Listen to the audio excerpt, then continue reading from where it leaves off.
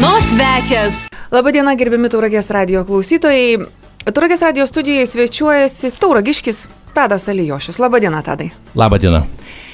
Žmonės turi įvairiausių pomėgių. Vieni kolekcionuoja drambliukus, kiti, man vyras, mano vyras kolekcionuoja senovinius radio imtuvus, e, kiti mėgsta važinėti sportiniu automobiliu. O koks pačio pomėgis? Ką tu mėgsti veikti gyvenime laisvalaikiu? Šiaip visą gyvenimą esu, vadinu, iš dalies sportininku, visą laiką nuo pat, maž, maž, kaip sakant, nuo pat vaikystės patiko, patiko sportas, ypač krepšinis. Paskui, aišku, įstojus mokintis, tenais pažiūrėjau, kad profesionalų tapti neina, iš to pinigų uždirbti neina, kažką reikia, kažką reikia eiti daryti gyvenime. Tai paskui šiaip krepšinį žaidžiu iki šiol ir pagrindė visą laiką sportuoju, yra tekę ir rankomis lenkti, ir, ir, ir, ir šiek tiek gal pabėgioti kažkur, ta prasme, laisvalaikiu, bet uh, pagrindė buvo krepšinis. Ir, ir dabar aišku, kai yra vaikai, šeima, darbas, tai tenais į tą krepšinį sunkiau nueiti, tai bandai žiūrėti, kas, uh, kaip sakant, uh, pakeliauti po pasaulį gal, pasižiūrėti, prasme, kas, kas, uh, kas patinka ir o taip iš, iš tikrųjų iš niekur atradau, kaip sakant, tokį kaip ir laipimą po kalnus. Alpinistų kol kas sunku pavadinti tą dalyką alpinizmu, bet, kaip sakant, vaikštau po kalnus, pamatai kitas kultūras. Ir va, taip. Taip, viskas e, paprastai vaikštom po kalnus ar nekopiam, na kas šiek tiek susidūrė ir galbūt girdėję tragiškų uh, atvejų, kad alpinistai nukrenta, žuva, juos užgriūva įvairios sniego lavinos. Tai netai paprastai tada atrodo, ar ne visiems? Bet prieš kiek metų atradai šitą savo pomėgį tokį, vaikščioti po kalnus, kopti į kalnus. Jo, aš žinau, kažkur yra gal du metai, nes pradžiai ten išgirdau, kad mano buvęs grupiokas Klaipėdoj kažkur pieškom nuėjo iš, dabar neatsimenu, ar iš Romos į Asyžių, ar iš Asyžiaus į Romą. Ten man pasakė, kad nuėjau pieškom 200 km. Tai man iš dalies padarė tokį įspūdį, galvoju, kaip čia dabar savo kojom, čia dažniausiai iki parduotuvės važiuoji su, su automobiliu, dabar žiūriu, nuėjai ten iš, iš Romos į Asyžių arba atvirkščiai. Tai, tai kažkaip galvoju, reikia pavaiščioti, kas čia bus. Tai paėmiau kokią sekančią gal dieną, aš pasėmiau kelius daiktus ir pats praėjau, kaip sakant, vienas 35 km aplink tauragę. Praėjau, ten, aišku, naga nutrynė, ten paskui jis atsilupo vienu žodžiu ir pavargau ir viskas, bet, kaip sakant, taip ir patiko žiūrėti, kad išbandai savi, kaip sakant, tokiam biškinu, išeini iš komforto zonos vienu žodžiu. Tai dažniausiai būna šeima, vaikai, darbas, tu, kaip sakant, viskas ramu, atsipūtęs ir čia va taip kažkokį išeini, pasivaiščiai, dažniausiai tiek nevaikštai tokių, tokių atstumų. O paskui parėjęs galvoju, gal šiek tiek ir nuobodu, eini dabar tos 35 km, kaip sakant, dar paskui praėjau tų kilometrų, galvoju kažkokia būtų šiek tiek sudėtingesniem tomo, kažkokiais, to prasme, kad būtų sudėtingesnė ta trasa. Kažkaip be, be, be, be žiūrint internete, pastebėjau, kad žmonės vat, irgi gali, pavyzdžiui, lipti kažkokį kalną didesnį ir jam nereikia ten kažkokio super ilgo, ilgamečio pasiruošimo. Šiaip aišku, kiekvienam kalnui kad reikia pasiruošti tą prasme ir, ir ten geriau eiti ne į pirmą kalną, ten, pavyzdžiui, kai aš į Montblaną įlipau, mano pirma viršūnė, kuris yra tenais aukščiausias vakarų Europoje. Bet uh, praktiškai vat, nuo to prasidėjo, kad pradėjau pieškom aiškinti, paskui norėjau kažką susirasti sudėtingesnio. Tai taip atsirado, kad žiūriu į kalną, eini tą prasme, kartu ir vaikščiojimas yra, ir kartu gamta, kaip sakant, gražesnė neįprasta mūsų kraštui ir, ir, ir, ir, ir va, nuo to ir prasidėjo viskas. Ir pats viską įsiaiškinai, na ko reikia kopiant į kalnus, na iš tikrųjų neišeisi gyva taip savo. Pasiemiai kuprinę ant pečių, na, užsim pirštinės, sakinius, batus kažkokius ir viskas. Vis tiek reikėjo įsiaiškinti, kas buvo tie vadovai, kokio knygos, nežinau, internetas, žmonės.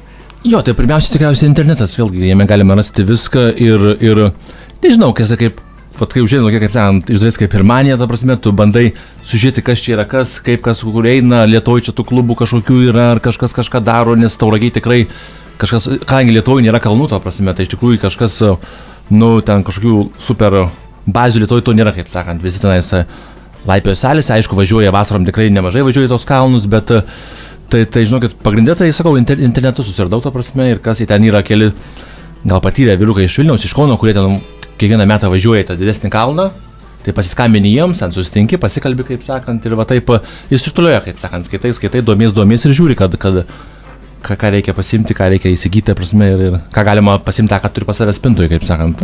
Tai surinkus informaciją, visą reikėjo aišku įsigyti ir daiktus, na kągi pasimti į tą kelionę, ar ne? Žmonės ir dažnai pagalvoja, na, va irgi norėčiau pabandyti, norėčiau tai patirti. ką reikėtų žinoti pirmiausiai, kokios yra svarbiausi, svarbiausi daiktai, kuriuos reikia pasimti, kaip jie galbūt vadinasi, galbūt apie tai pakalbėkim, nes iš tikrųjų mes prieš, aš prieš savo akis matau tos daiktus ir buvo labai įdomu pačiai išgirsti ir tikrai manau, kad žmonėm, kurie domisi, susidomėję yra, bet galbūt jiems trūksta informacijos arba jie nenori, nežino tiksliau, ne tai, kad nenori, nežino, kur kreiptis, ką pirkti. Laik einant, ne, bet, ne, bet kur, ir į kalną, kažkur į gamtą, vis, su grupe, pavyzdžiui, ekspedicija kažkokia, tai visą laiką yra tavo asmeninė įranga ir yra grupinė, ta prasme, įranga. Tai ten nu, bendra grupės įranga, tai yra gal palapinės, ten kokios nors viryklės, ta prasme, tenais bendrą gal maistą perkam, ta prasme, tenais, o paskui yra asmeninė įranga. Šiaip žmogui užsinorės, pavyzdžiui, vat, užsimaniau ir toj, kad noriu kažkur eiti tokį gal didesnį kalną, negu turim Lietuvoje. Tai iš tikrųjų pradžiai tikrai nereikia, nebūtina susipirkti visko. Šiaip įmonės yra įmonės Lietuvoje ar tenais žmonės, kurie nuomoja tą įrangą, kaip sakant, aš tenais dalį tokį įrangą, kaip batus irgi nuomoja. Batus nuomoja tenais, bet šiaip batus geriausiai gali turėti palei savo koją, kaip sakant, nusipirkus. Bet šiaip pradžiai labai didelių investicijų iš tikrųjų nepatarčiau ten kažką nusipirkti, nebent tu planuoji iš karto eiti gal jau žinai, kad tu eisi į tą, į tą kalną. Aš kadangi žinau, kad man patiks, aš taip spėjau ir tikriausiai atspėjau, tai aš iš karto savo bandžiau nusipirkti tą įrangą. Kad aš žinau, jeigu aš eisiu į Montblaną, eisiu į Elbrusą, ten galėsiu į kokią Konkagvą, ta prasme, tai aš e, iš karto pirkau batus, kurie man tiktų ne tik tai pirmai kelioniai, gal man tiktų ir kitai kelioniai, kad nereiktų kiekvieną kartą išleisti, kaip sakant, tos pinigus. Nu. Bet šiaip aš kur kopiau ir Montblaną, ir Elbrusą, labai daug žmonių eina su išnuomota įranga. Įsinuomoja net ir mėgmaišiai, ir letkritė, kadangi jeigu tavo tikslas yra kartą gyvenime užkopti kažkur į Montblaną, pavyzdžiui, arba nesvarbu, Norvegijoje į mažesnį kalną, kažkokį ten 2, 2000 metrų, 2 km, tai tikrai gal neverta iš jų susipirkti visą amuniciją, kad paskui tu nuspręsi, kad arba tau nepatinka tas dalykas, arba kaip sakant, gal tu turi kokią aukščio lubas, ta prasme, kad tu ateisi į ten 4 km, tu pamatysi, kad tau yra nu, tavo fiziologija neleidžia lipti aukštyn, ta prasme, ir tu turėsi prisipirkęs tenais krūvą tų daiktų, kuris paskui gal ten parduosi už pusę kainos kažkam, ta prasme. Tai tikrai pradžiai, pradžiai kaip neskubėti, sakant, pradžiai. neskubėti jo, įsiaiškinti, kas yra nuomojama ir ko tikrai, pavyzdžiui, neišnuomoja, ta prasme, žinai, kartais nuomai būna batai labai kokie pasenę, pritrinti kitai kojai ir tavo kojai gali netiks, ta prasme, žinai. Tai aš laiką pradžiai tikrai pirkau ir batus, kaip sakant, ir mėgmaišį, kad aš būčiau, kaip sakant, jų pačių tas šeimininkas. Bet šiaip pradžiai tikrai tai nereikalauja labai didelių pinigų, nes galima įsinuomoti arba paskolinti iš kokių kolegų, draugų, ta prasme, kas, kas turi tą dalyką. Tai batai, aišku, yra labai svarbu, ar ne? Batus, batus turėti yra labai svarbu. Jo, man batai, aš saugai, ten man į kokį top turėtuką batą įeina, nes, kai sakant, ne ant kojų visą laiką, ta prasme, ir jie turi būti labai tau patogus, turi būti šilti, ergonomiški, turi katės prisitvirtinti ant jų. O katės, kas tai yra katės? Kad tas, slidinėja, sakykime, arba šiaip pakeliavę kažkur, na žinau, katės tai tokios dedasi ant bato, ar ne? Pado. Jo, jo, dabar nežinau, ar moksliškai aš pasakysiu, bet vienu žodžiu yra tokie užsideda 12 spiglių, tokie kaip sakant, kaip ir... Kaustukai kažkokie, kažkas panašaus. Jo, jo, tas tam yra, kad jeigu eini didesniu kampu, yra slidu, būna sniegas suspaustas, pritryptas arba yra ledinas, tai, tai kaip sakant, jisai tvirtinasi po bato pačia. Ir tadas man kaip tik dabar ir, ir demonstruoja. Tas Jo. katės mes nuotraukai paskui parodysim ir tauragės radio klausytojams. Bet žodžiu, yra tokie spigliai tvirtinami po kojom, ta prasme, kai apkaustai teisingai sakėt, ir, ir jie padeda, kaip sakant, kad tu nejaustum, kad ten tau slidu, kaip sakant, nes jeigu tu paslysi, kaip sakant, tai tikrai, nu, bus neįdomu, ta prasme, tenais gali kuo, kuo įsukti, kaip sakant, arba ten paskui tieks kažkam gelbėti, vienu žodžiu, tai, nu, be kačių ne, į rimtesnį kalną, ta prasme, arba bet kur, kad ir Norvegijoje nuvažiavus į mažesnį kalną, jeigu tau reikia eiti biškis atesnių kampų ir yra ledinas, tai Nu, tik su katėm, bet ten nebent kažkokiam grandinėm galima irgi, kai būna ant padangų deda kažkur ten šiaurės, sk- Skandinavijoje kažkur dedasi ant padangų, kad nereikia važiuoti į kalną ir tau tiesiog reikia, kad būtų maksimalus sukibimo jėga, kaip sakant. Mhm.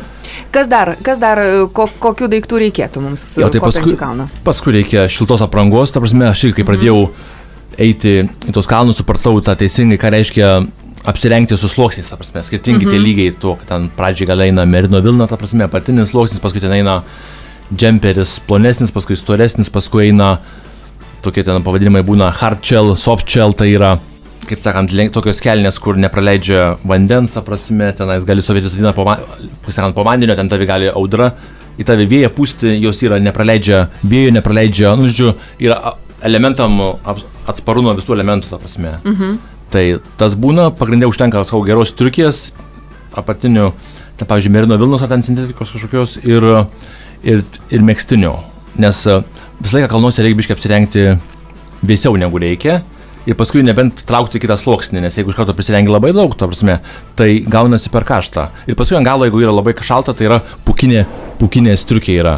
Vienu žodžiu, tai, tai, tai, o, tai per tai supratau, kad reikia kaip drabužių tinkamai apsirengti, nes kalnuose būna arba per šiltą, arba per šaltą tokį rasti balansą, kad tau būtų labai gerai, yra sunku, nes tu pastoviai nešiesi kuprinę 30 kg arba 25 arba 20, arba vėlgi priklauso nuo kalno ir nuo, nuo visų logistikų ir tu labai iš tikrųjų prakaituoji, kai tu eini. Tai reikia geriau išeiti į kalną tokiam jausdamas biškį vėsumą arba šaltį, ta prasme, ir paskui jeigu reikia, jau matai, kad nėra kur dingti, tada traukis iš kuprinės ten pukinės triukė arba kažką ir va taip yra. Nes jeigu, pažiūrėjau, prisirengsi, suprakaituosi, sustosi atsigerti arbatos, vėjas pratrauks, sušalis, ta prasme, ir bus, ir bus nesmagu. Tai va, tai ir paskui, paskui jeigu tęsiant įrangą, tai yra mėgmaiščius irgi svarbu, nes yra tavo, sen reikia kojo meilės labai daug, kad jos būtų šiltos, nes uh, jeigu kojas šalna, paskui labai yra, kaip sakant, kerta per visą tavo motivaciją, per visą tavo psichologinį atsparumą, nes atsparumo psichologinio labai reikia kalnuose, tai jeigu tau pradeda šalti galūnės, tu galvoji, kaip, tai. kaip uh, grįžti, kaip sakant, kad tavęs ta hipotermija ne, nepa, ne, nepaveiktų. Tai, Tai, o, tai paskui yra mėgmaišis dar toks dalykas, kuris prie asmenės, aš irgi visą laiką mėgstu turėti savo mėgmaišį šiltą, dažniausiai truputėlį šiltesnį negu reikia, kad, kad jisai, kaip sakant, nu, kad tu mėgotum, sako, jeigu tu ką nemėgi, tai tu lipi, jeigu nemėgi, tai nelipi. Nes jeigu tu šalini kažkas, automatiškai tu, tu pabiškai prarandi jėgas, kaip sakant, tų, tų jėgų kol nereikia. Mhm. O ką ant galvos, vis tiek užsidėti kažkokias yra, ką reikia žinot? Jo, ant galvos tai būna, aišku, dažniausiai tos striukės būna nuo lietaus, tai turi ir kapišoną, paskui turim tokie ten jeigu šnekant nelietuviškai, tokie buffai, buffai yra tokie, kur jie kaip skarelė, tokie lietuviškai gal skarelė yra. Jis saugo nuo vėjo, to prasme, nuo, nuo dulkių, nuo saulės galima, jinai galima kaip klasarė naudoti, galima ant galvos dėti, ta prasme.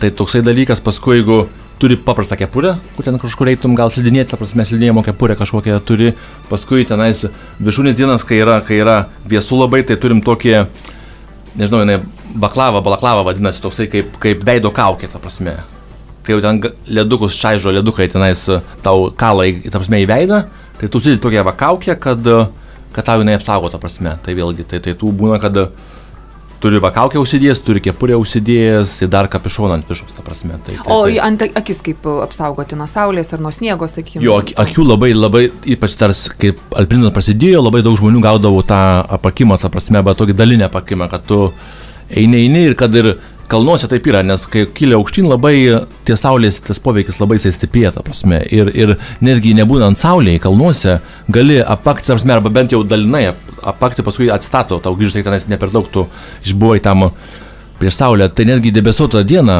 kalnuose tu gali ta, pilnai, ta prasme, susigadinti akis. Dėl to reikia nuo pat, nuo pat pradžių dėdės akinius, ta prasme, ten yra tam tikros kategorijos. Yra, tai yra reikia bent trečios kategorijos akinius, apsime. Dažniausiai, kur būna tuose turizmo parduotuvėse, tai tenais jau žmonės tą dalyką žino, kad jeigu ten turi kalnus akinius, tai ten jie turi, kaip sakant, trečią, ketvirtą kategoriją. Ten būna ketvirtą kategoriją, praleidžia iki 5 procentų saulės šviesos, ta prasme.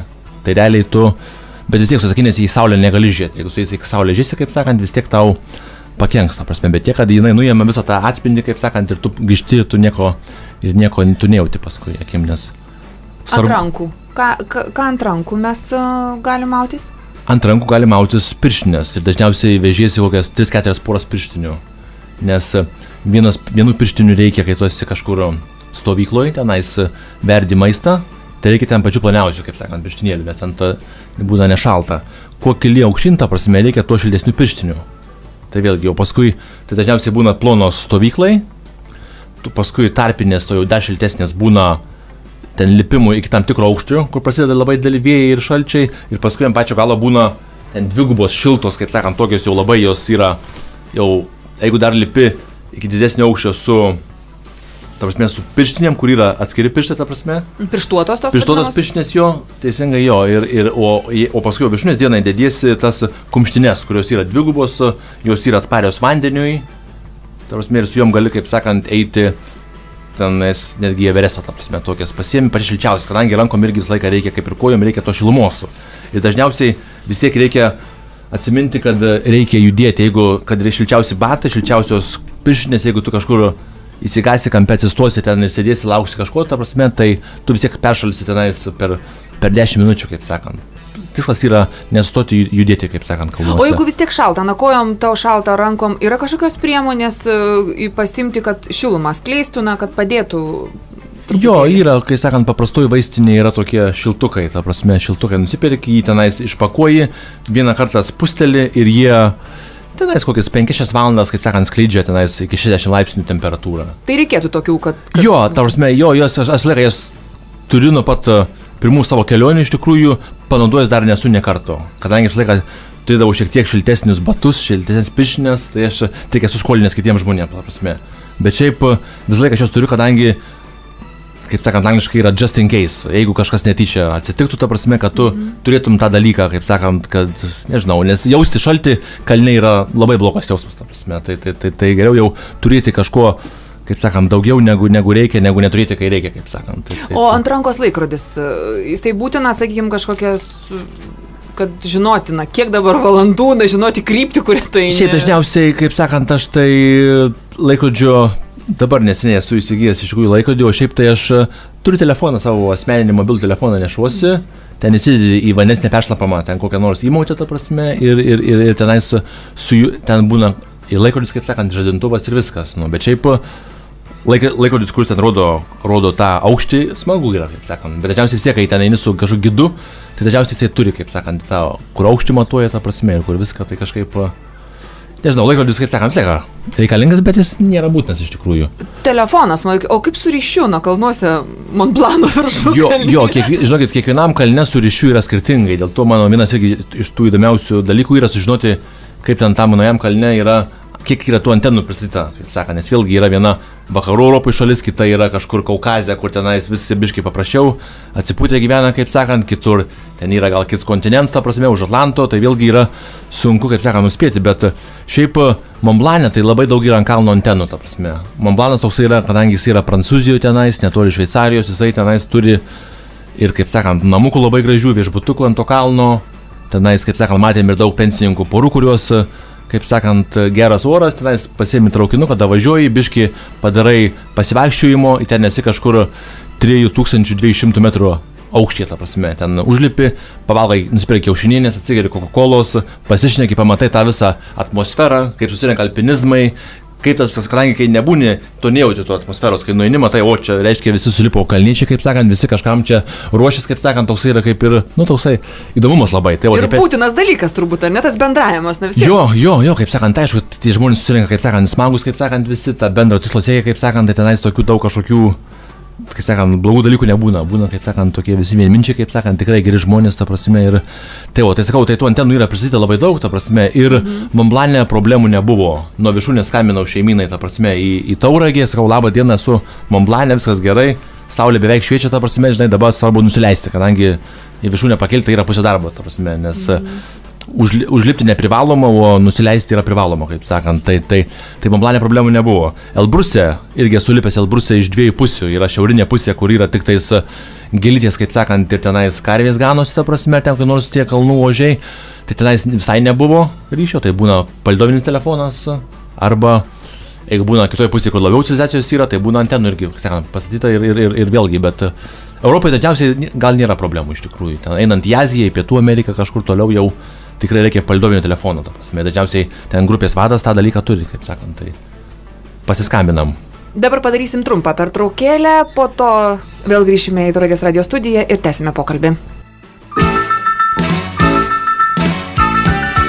Dienos svečias. Tauragės radijas. Tauragės radijas. Tauragės krašto banga. banga.